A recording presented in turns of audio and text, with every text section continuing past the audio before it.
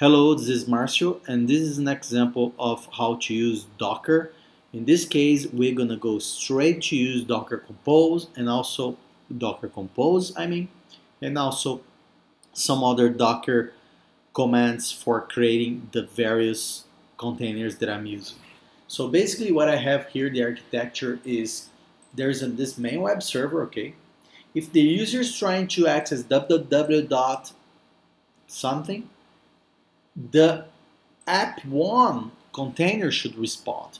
If the user is trying to access www2, app2 container should respond, okay? app1 container is a, is a specific, it's like one machine, okay? One computer, one Docker container that expose its web app behavior using port 8080. Similarly, www2 is just app2 is just another image really almost similar to the first except that I have different log messages and it's serving its behavior through port 8081 and web server will have to contain Apache 2 that's the actual web server inside this container, the web. This image is basically an Ubuntu computer with, with Apache 2 with virtual host settings mapping www to this computer and mapping and mapping www2 to this computer okay so let's first access uh, let's see how the Docker file looks like for the web server, okay? And this is what you have here. It's basically Ubuntu, all right? And this is exposes itself through port 80 to the host system and the host system is of course the, the, this computer where I am and Apache is going to be is going to be executed, and also uh, mod proxy uh, module in Apache, which is the component that makes the magic so that virtual hosts can be enabled. Okay, and if you look at www.terra you have see a association for www.mysite.com, etc. www1, I mean www going to app1 computer. If you look at the www2 virtual host conf file, you see that www2 links to the computer app2. That's basically our web server with Apache, with virtual hosts, with the hosts pointing to actual containers, okay? Let's make this uh, image, okay? And I don't even remember the comment because I'm really new here in using Docker.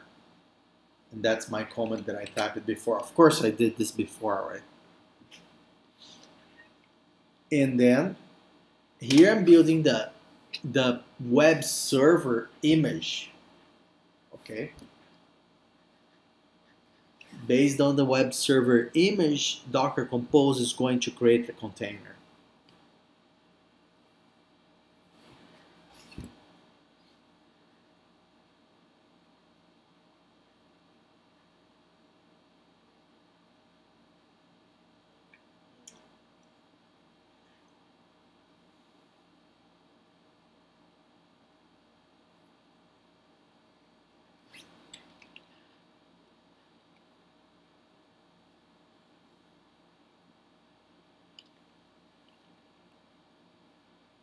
So if I type, if I type here sudo docker image ls, now we have web server image, okay?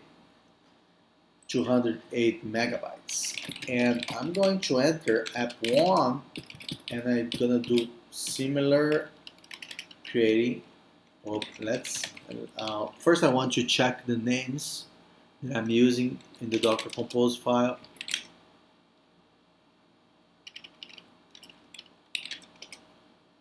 Yeah, so I need to create an image with the name web app www, right? So it's